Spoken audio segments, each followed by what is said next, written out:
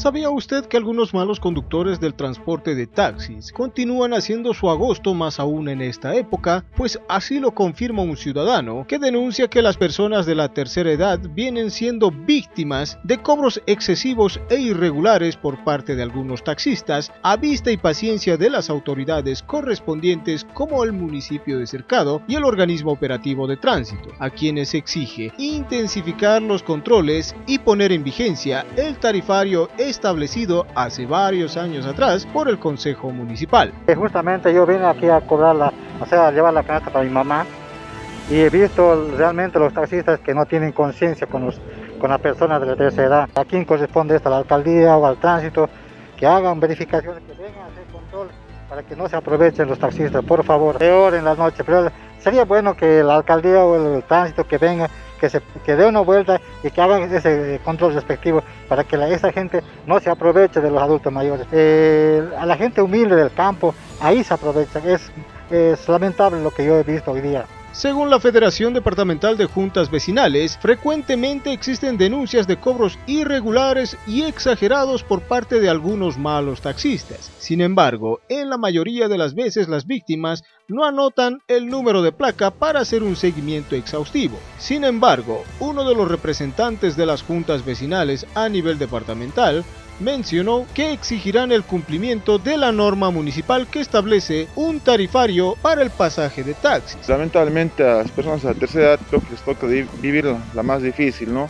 Sufren discriminación, sufren abandono y el tema del transporte no, es, eh, no está aparte. Lamentablemente el tema del transporte igual hay algunos, como usted dice, malos choferes que abusan de su, de su condición y finalmente eh, eh, hacen cobros exagerados.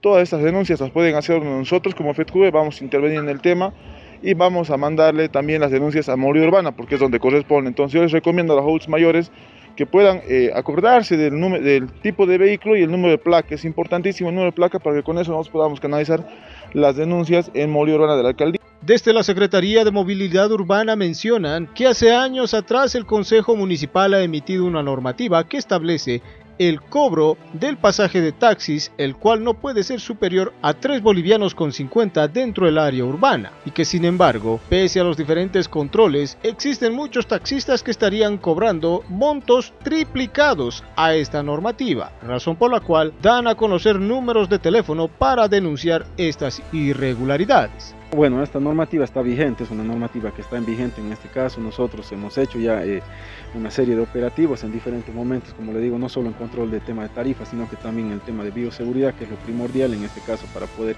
evitar o prevenir el contagio del COVID.